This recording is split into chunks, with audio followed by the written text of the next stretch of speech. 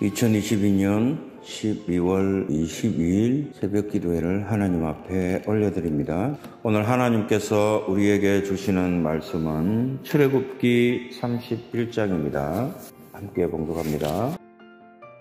여호와께서 모세에게 말씀하여 이르시되 내가 유다 지파 훌의 손자요 우리의 아들인 부살레를 지명하여 부르고 하나님의 영을 그에게 충만하게 하여 지혜와 총명과 지식과 여러 가지 재주로 정교한 일을 연구하여 금과 은과 노수로 만들게 하며 보석을 깎아 물리며 여러 가지 기술로 나무를 새겨 만들게 하리라. 내가 또 단지파 아이 사막의 아들 오홀리압을 세워 그와 함께하게 하며 지혜로운 마음이 있는 모든 자에게 내가 지혜를 주어 그들이 내가 내게 명령한 것을 다 만들게 할지니 곧 회막과 증거계와 그 위에 속죄소와 회막의 모든 기구와 상과 그 기구와 순금 등잔대와 그 모든 기구와 분양단과 번제단과 그 모든 기구와 물두멍과 그 받침과 제사직을 행할 때에 입는 정교하게 짠 의복, 곧 제사장 아론의 성의와 그의 아들들의 옷과 관유와 성소의 향기로운 향이라 물은 내가 내게 명령한 대로 그들이 만들지니라. 여호와께서 모세에게 말씀하여 이르시되 너는 이스라엘 자손에게 말하여 이르기를 너희는 나의 안식일을 지키라. 이는 나와 너희 사이에 너희 대대의 표징이니 나는 너희를 거룩하게 하는 여호와인 줄 너희가 알게 함이라. 너희는 안식일을 지킬지니 이는 너희에게 거룩한 날이 됨이니라. 그날을 더럽히는 자는 모두 죽일지며 그날에 일하는 자는 모두 그 백성 중에서 그 생명이 끊어지리라. 엿새 동안은 일할 것이나 일곱째 날은 큰 안식일이니 여호와께 거룩한 것이라 안식일에 일하는 자는 누구든지 반드시 죽일지니라. 이같이 이스라엘 자손이 안식일을 지켜서 그것으로 대대로 영원한 언약을 삼을 것이니 이는 나와 이스라엘 자손 사이에 영원한 표징이며 나 여호와가 엿새 동안에 천지를 창조하고 일곱째 날에 일을 마치고 쉬었음이니라 하라. 여호와께서 시내 산 위에서 모세에게 이르기를 마치실 때에 정급한 풀을 모세에게 주시니 이는 돌판이요 하나님이 친히 쓰신 것이더라. 아멘.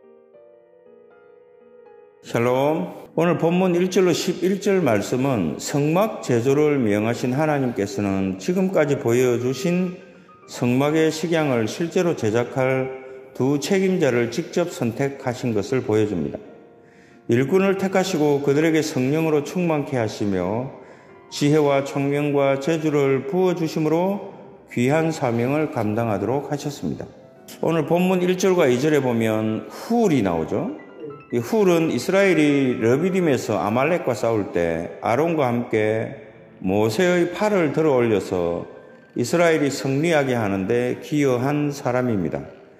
출애굽기 17장 10절에 여호수아가 모세의 말대로 행하여 아말렉과 싸우고 모세와 아론과 훌은 산 꼭대기에 올라가서라는 말이 나오죠. 그리고 그가 모세가 그리고 이 훌은 모세가 시내 산에 계명을 받으러 올라갔을 때에 아론과 함께 백성들을 다스렸던 사람이기도 합니다. 출애굽기 24장 14절입니다. 장로들에게 이르되 너희는 여기서 우리가 너희에게로 돌아오기까지 기다리라 아론과 훌이 너희와 함께 하리니 무릇 일이 있는 자는 그들에게로 나아갈지니라 하고 아멘. 여기서 말하는 우리라는 말은 성막 건축자 부살렐의 아버지를 얘기합니다. 이 사람의 신상에 대해서는 특별히 알려진 것이 없습니다. 부살레를 소개하면서 그의 아버지와 할아버지까지 언급한 것은 중요한 의미를 함축하고 있습니다. 첫째로 이 버살렐이 하는 일이 큰 중요성을 가진다는 것이고 출애굽기 마지막 장까지 버살렐의 이름이 여러 번 기록되고 있으며 그 중에서도 특별히 37장 1절에는 법계를 만든 자로 기록되어 있다는 점에서도 잘 나타납니다. 두 번째 성경 말씀이 그렇듯이 버살렐에 관한 기록도 허구가 아니라 엄연한 역사성에 근거한 것임을 말해줍니다. 지명하여 부르고 이 지명했다라는 말은 nominate 했다라는 말인데 영화에 보면 nominate 상이라고 있죠. 지명해서 특별히 뽑았다 이런 말입니다. 여러 가운데서 가려서 뽑았다는 의미입니다. 이것은 지명받는 자의 능력도 중요하지만 이보다 그를 하나님의 도구로 사용하시려는 하나님의 선택이 더 중요하다는 것을 말해주죠. 누구를 택하여 쓰느냐 하는 것은 전적으로 하나님의 주권적 섭리에 달려 있기 때문이죠. 부른다라는 말은 이름을 불러서 인격적 관계를 맺고 소명 의식을 갖게 해서 하나님의 일을 맡기는 것입니다. 이 말에는 인격적 관계의 긴밀함이 나타납니다. 이 부른다는 말은 즉 하나님은 아담은 창, 아담을 창조하신 뒤에 아담에게 이름을 불러 주셨고 그가 범죄했을 때에도 그를 멸하지 않고 이름을 불러 주셨습니다. 여전히 그와 교통했다는 것이죠. 창세기 3장 9절에 여호와 하나님이 아담을 부르시며 그에게 이르시되 내가 어디 있느냐 아멘. 창세기 6장 13절에 보면 노아를 부르시고 그의 가족을 구원하셨죠. 13절입니다. 하나님이 노아에게 이르시되 모든 혈육 있는 자의 포악함이 땅에 가득함으로 그 끝날이 내 앞에 이르렀으니 내가 그들을 땅과 함께 멸하리라. 그리고 창세기 12장 1절에 보면 아브라함을 부르시고 인류에 대한 구원의 역사를 시작하십니다. 여호와께서 아브라함에게 이르시되 너는 너의 고향과 친척과 아버지의 집을 떠나 내가 내게 보여줄 땅으로 가라. 두 번째로 부른다는 말은 부르는 자와 불림을 받는 자의 관계가 수직적인 관계임을 나타냅니다.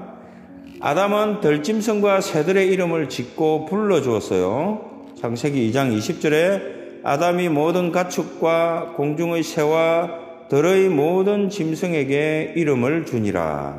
이것은 아담이 하나님으로부터 이들을 다스릴 권한을 위임받았음을 말해주고 있죠. 두 번째 불렀다는 말은 하나님께서 누군가의 이름을 부르신다는 것, 그 사람을 선택하고 하나님의 소유로 삼으시겠다는 뜻입니다. 이사야 43장 1절이죠. 야고바 너를 창조하신 여호와께서 지금 말씀하시느니라.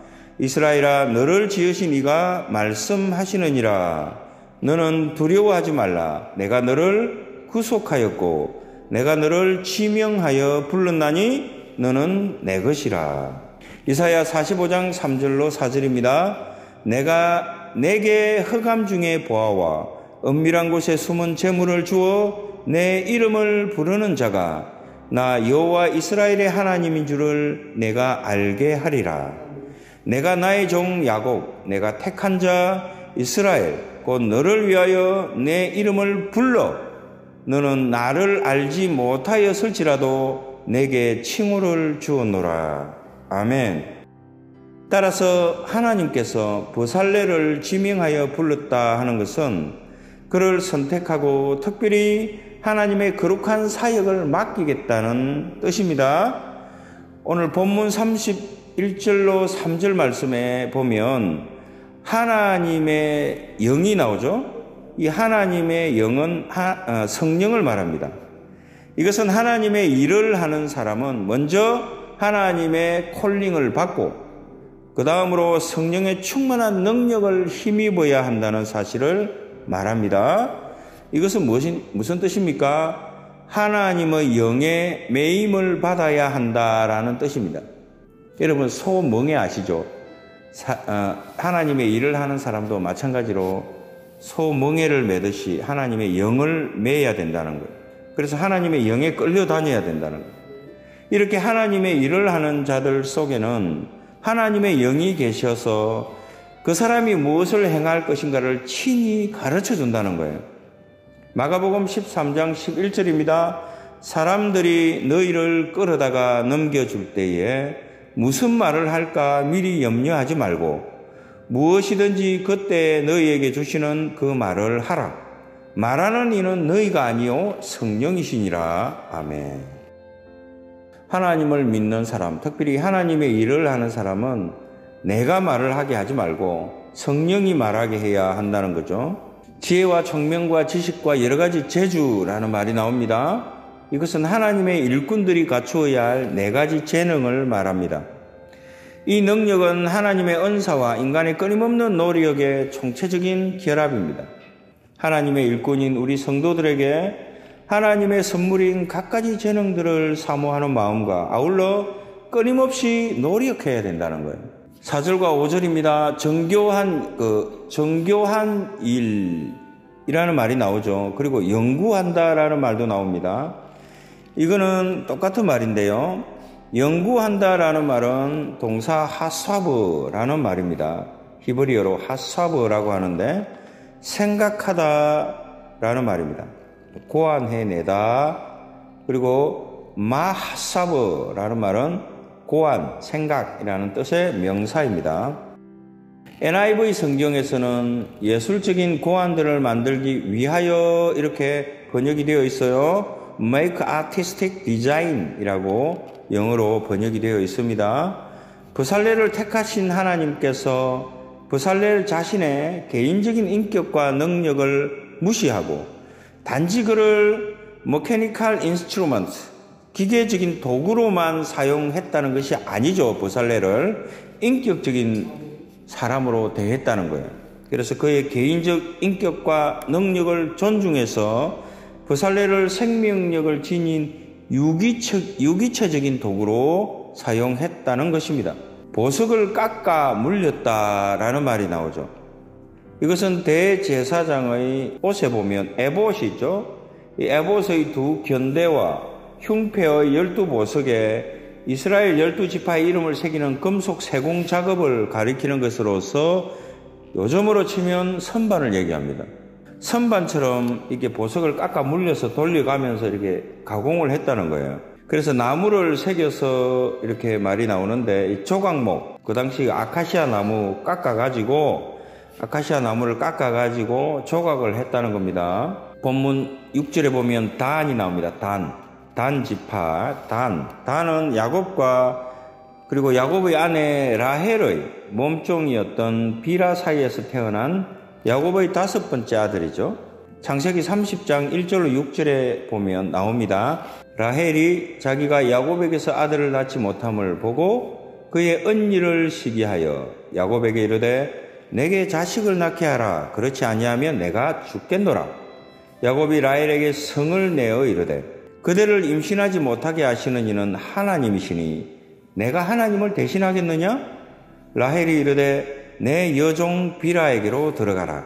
그가 아들을 낳아 내 무릎에, 내 무릎에 두리니 그러면 나도 그로 말미암아 자식을 얻겠노라 하고 그의 시녀 비라를 남편에게 아내로 주매 야곱이 그에게로 들어갔더니 비라가 임신하여 야곱에게 아들을 낳은지라 라헬이 이르되 하나님이 내 억울함을 푸시려고 내 호소를 들으사 내게 아들을 주셨다 하고 이로 말미암아 그의 이름을 단이라 하였으며 아멘. 이렇게 단이 나오죠. 네, 억울함을 풀어주셨다라는 뜻입니다. 이 단이라는 말이. 이 단의 후손들은 길의 뱀과 같이 교활하고 첩경의 독사같이 호전적인 사람들이었다라는 말이 창세기 49장 17절에 나옵니다. 단은 길섭의 뱀이요 새길의 독사로다. 말굽을 물어서 그 탄자를 뒤로 떨어지게 하리로다. 그리고 신명기 33장 22절에 보면 사자의 새끼라는 비유로도 표현되고 있습니다.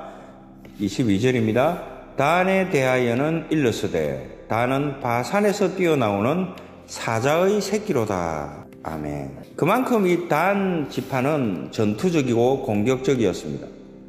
이런 배경이 있음에도 불구하고 하나님께서는 오홀리압을 부르시고 성막 건축에 쓰일 휘장을 비롯한 각종 식물 제작을 담당케 하신 것은 하나님은 외양을 보는 인간과는 달리 오직 중심을 보시는 분이기 때문이죠. 이렇게 하나님께서는 육체를 따라 지혜 있는 자를 택하시지 않고 하나님의 사역에 꼭 필요한 자들을 적재적소에 들어서 사용하십니다. 고린도전서 1장 26절에 보면 이런 말이 나오죠.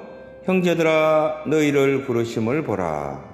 육체를 따라 지혜로운 자가 많지 아니하며 능한 자가 많지 아니하며 문불 좋은 자가 많지 아니하도다. 아멘. 세워, 이 세워라는 말이 나오죠. 이게 본래 주다라는 말로서 히브리어 나탄이라고 합니다.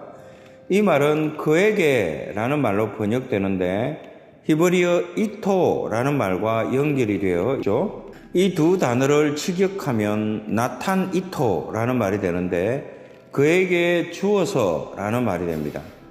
하나님께서 버살렐과 오올리압을 주신 것은 마치 아담에게 하와를 돕는 배필로 주신 것과 같은 이치다라는 거죠. 창세기 2장 20절입니다. 아담이 모든 가축과 공중의 새와 들의 모든 짐승에게 이름을 주니라. 아담이 돕는 배필이 없으므로 여기 돕는 배필이라는 말이 그 말입니다. 무릇 지혜로운 마음이 있는 자이라는 말에서 이 무릇이라는 말은 everything이라는 말입니다. 모든이라는 뜻이에요. 지혜로운이라는 말은 학함이라는 뜻으로서 숙련된 이런 뜻입니다. 특별한 재능이 있는 모든 자, 숙련된 기술이 있는 모든 자라는 뜻입니다. 본문 7절에 증거괴라는 말이 나오죠. 증거괴. 이스라엘 백성들을 보호하고 인도하시는 하나님의 능력과 섭리를 증거하는 괴입니다. 이 괴 안에는 십계명 돌판과 아론의 쌍난 지팡이, 만나를 담은 항아리가 들어 있습니다. 히브리서 9장 4절입니다. 금 향로와 사면을 금으로 싼 언약궤가 있고 그 안에 만나를 담은 금 항아리와 아론의 쌍난 지팡이와 언약의 돌판들이 있고 아멘. 일명 법궤 혹은 궤라고도 하죠. 레위기 16장 2절입니다. 여호와께서 모세에게 이르시되 내 형 아론에게 이르라 성소의 휘장 안 법궤 위 속죄소 앞에 아무 때나 들어오지 말라. 그리하여 죽지 않도록 하라. 이는 내가 구름 가운데에서 속죄소 위에 나타남이니라. 아멘. 정거궤는 지성소 안에 있습니다. 속죄소는 정거궤를 덮고 있는 뚜껑으로서 천사 형상의 그룹 둘이 속죄소 양 끝에서 서로 마주보고 날개로 속죄소를 덮고 있는 모양을 하고 있어요. 출애굽기 25장 17절로 22절에 그 형상이 나옵니다. 순금으로 속죄소를 만들되 길이는 두 규빗반, 너비는 한 규빗반이 되게 하고 금으로 그룹 둘을 속죄소 두 끝에 쳐서 만들되 한 그룹은 이 끝에, 한 그룹은 저 끝에, 그 속죄소 두 끝에 속죄소와 한 덩이로 연결할지며 그룹들은 그 날개를 높이 펴서 그 날개로 속죄소를 덮으며 그 얼굴을 서로 대하여 속죄소를 향하게 하고 속죄소를 궤 위에 얹고 내가 내게 줄 정급판을 궤 속에 넣어라. 거기서 내가 너와 만나고 속죄소 위, 곧 정급 궤 위에 있는 두 그룹 사이에서 내가 이스라엘 자손을 위하여 내게 명령할 모든 일을 내게 이르리라. 아멘. 본문 8절입니다. 본문 8절에 상, 기구, 순금 등잔대, 기구, 분양단이라는 말이 나오죠. 이 진설병을 하나님께 진설하기 위해서 마련된 떡, 떡이 진설병인데 이 떡을 올려놓는 상, 그게 상입니다. 이것은 성소 안에 있는 북쪽에 위치하고 있어요. 정금 등대와 그 모든 기구 에서 보면 이 등대, 등대는 뭡니까? 성소 안을 밝히는 이 촛대를 얘기하는 거예요.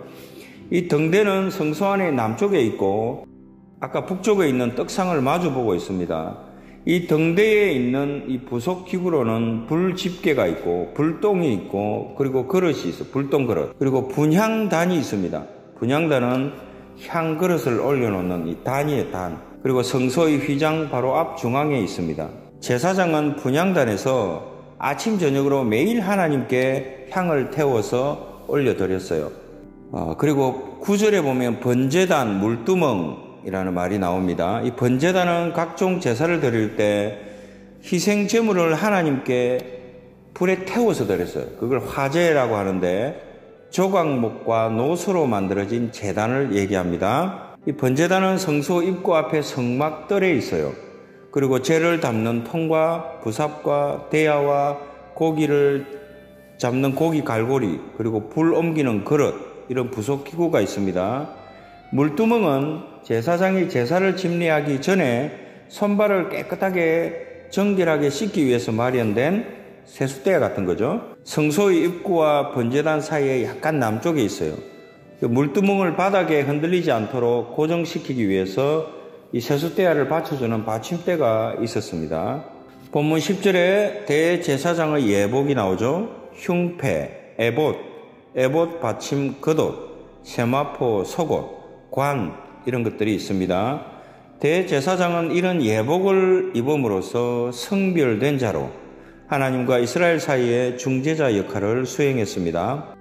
오늘날 성도들 모두가 하나님 앞에 제사장이므로 모든 성도는 제사장이니까 어떻게 해야 돼요?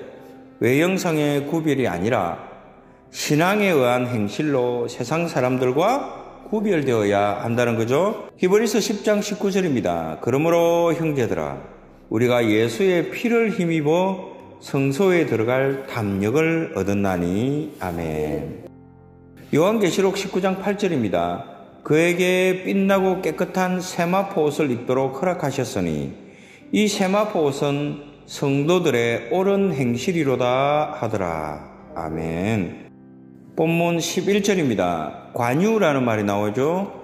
제사장의 위임식, 그리고 성막의 성물들을 구별할 때 사용하는 거룩한 기름을 얘기하는 거예요. 이 관유는 모략, 유괴, 창포, 계피, 감람기름, 반흰을 섞어서 정교하게 만들어졌습니다. 이 관유도 역시 하나님의 거룩한 성물에 속했기 때문에 사적인 목적으로 만들거나 사용하는 것이 엄격히 금지되었습니다. 이것은 성소의 향기로운 향으로서 제사장이 기도를 드릴 때 향을 태울 때 사용하는 향의 향. 이 향은 소합향, 나감향, 풍자향, 유향이 동일한 비율로 배합되는 방식으로 만들어졌습니다. 앞에서 언급한 모든 성물들은 오직 하나님께서 명하신 대로만 제작하도록 강조되고 있죠. 하나님의 일을 하는 데는 인간의 얕은 생각이나 꽤나 고집 등이 들어가서는 안 됩니다. 주의 일을 위해 부름을 받은 성도들은 주의 뜻을 행하기에 앞서서 항상 하나님의 선하신 뜻이 무엇입니까? 하고 물어봐야 돼요. 그리고 하나님의 결정을 기다려야 돼요. 그리고 하나님이 결정하시면 순종해야 됩니다. 오늘 본문 12절로 17절에 보면 안식일 규례를 주시죠. 이제 32장부터는 이제 계속 안식일에 관한 얘기가 나오겠지만 성막 제도 명령을 마감하는 시점에서 이제 성막이 다 만들어지는 거예요. 그리고 안식일 규례를 강조하십니다. 그 이유는 눈에 보이는 이 성막 제도라는 중요한 일을 한다고 해서 눈에 보이는 성막을 진정으로 중요하게 만드는 근본 원인은 누구냐? 하나님이라는 거죠. 그래서 하나님과 자신들의 언약 관계를 망각하지 않을까 하는 염려 때문에 그래요. 성막만 지어놓고 그 성막만 보고 아, 우리가 거룩하구나 이렇게 생각하지 말라는 거예요. 본문 12절 13절에 보면 나의 안식일이라는 말이 나오죠. 나의 안식일이라는 말은 안식일의 주인이 누구라는 것입니까? 하나님이라는 뜻입니다. 마가복음 2장 28절입니다. 이름으로 인자는 안식일에도 주인이니라. 누가복음 6장 5절입니다. 또 이르시되 인자는 안식일의 주인이니라 하시더라. 아멘. 하나님께서 안식일의 주인이기 때문에 안식일은 더 큰 구속력을 가집니다. 왜냐하면 안식일을 지키지 않는 것은 결국 하나님의 나를 도적질하는 것이 되기 때문이죠. 그러나 하나님의 안식일은 동시에 사람을 위하여 있다는 데도 큰 의미가 있습니다. 마가복음 3장 27절입니다. 사람이 먼저 강한 자를 결박하지 않고는 그 강한 자의 집에 들어가 세간을 강탈하지 못하리니 결박한 후에야 그 집을 강탈하리라. 아멘. 하나님께서 안식일을 통해서 인간에게 육체의 노동으로부터 귀중한 휴식을 주시기 때문이죠. 그러므로 일주일 동안 열심히 일하고 주일날 교회에 오는 것은 너무나 우리에게 귀한 축복을 주신 겁니다. 이 휴식이 이스라엘 백성과 이방인과 나그네 등 인간뿐만이 아니에요. 소도 쉬게 하고 나기도 쉬게 하고 가축도 쉬게 했습니다. 그래서 모든 피조물들도 안식일에는 쉬었다는 거예요. 이 휴식의 적용 범위가 하나님이 만드신 모든 피조 세계에 다 적용되었다. 놀라운 일이죠. 표징, 오트라는 말은 사인, 신호라는 뜻입니다. 구약에는 하나님께서 이스라엘 백성에게 주신 몇 가지 표징들이 있어요. 이 중에 대표적인 것을 들면은 뭡니까? 무지개와 할례와 안식이에요. 이 세 표징의 특징은 첫 번째 무지개는 뭡니까? 심판 가운데서 하나님의 자비로 말미암는 구원에 대한 표징이에요. 창세기 9장 13절입니다. 내가 내 무지개를 구름 속에 두었나니 이것이 나와 세상 사이에 언약의 정근이라. 아멘. 두 번째 할례입니다. 할례. 할례는 하나님의 택하신 백성임을 나타내는 언약의 표징이에요. 이 당시에 이스라엘 백성들의 남자들은 태어나면 반드시 할례를 했어요. 그래서 이스라엘 백성은 반드시 그 할례를 행했기 때문에 이스라엘 백성이 아니다, 이스라엘 백성이다 금방 표가 나겠죠. 장세기 17장 10절 그리고 11절에 보면 할례가 나와요. 너희 중 남자는 다 할례를 받으라. 이것이 나와 너희와 너희 후손 사이에 지킬 내 언약이니라. 너희는 포피를 베어라. 이것이 나와 너희 사이의 언약의 표징이니라. 아멘. 그 다음에 세 번째 표징은 뭡니까? 안식이래요. 안식일은 무슨 뜻입니까? 거룩하다, 복주시다 이런 뜻으로서의 안식일입니다. 출애굽기 20장 11절입니다. 이는 여섯 동안에 나 여호와가 하늘과 땅과 바다와 그 가운데 모든 것을 만들고 일곱째 날에 쉬었음이라. 그러므로 나 여호와가 안식일을 복되게 하고 그날을 거룩하게 하였느니라. 아멘. 창세기 2장 2절로 3절입니다. 하나님이 그가 하시던 일을 일곱째 날에 마치시니 그가 하시던 모든 일을 거치고 일곱째 날에 안식하시니라.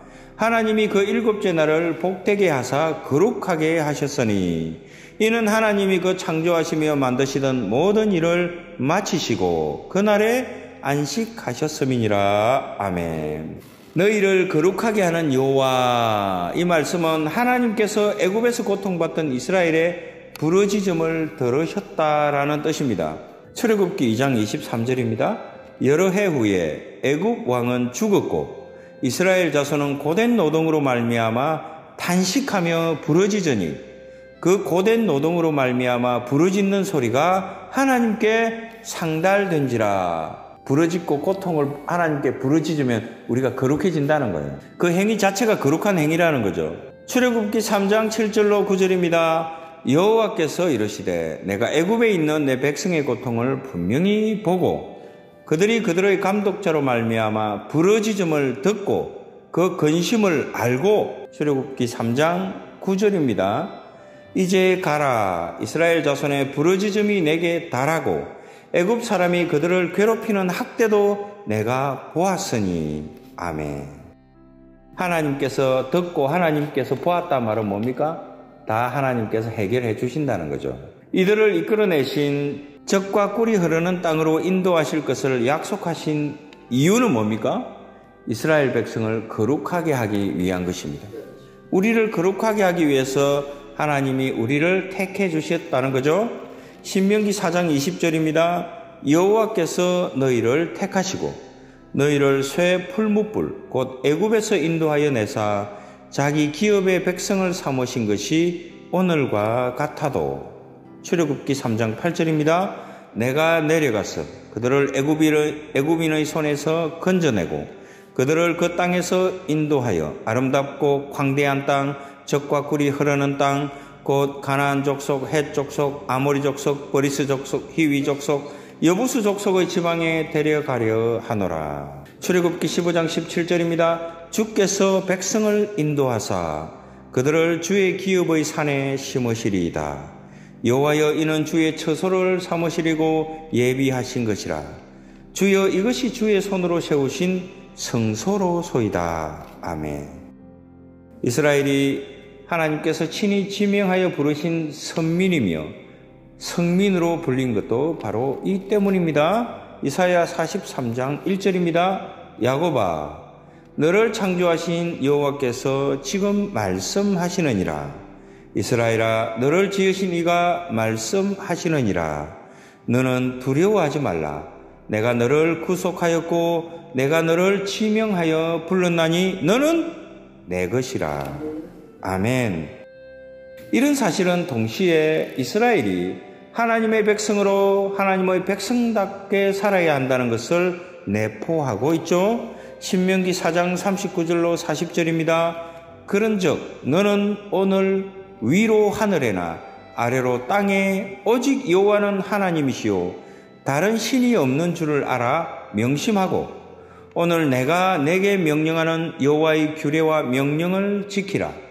너와 내 후손이 복을 받아 내 하나님 여호와께서 내게 주시는 땅에서 한없이 오래 살리라. 아멘.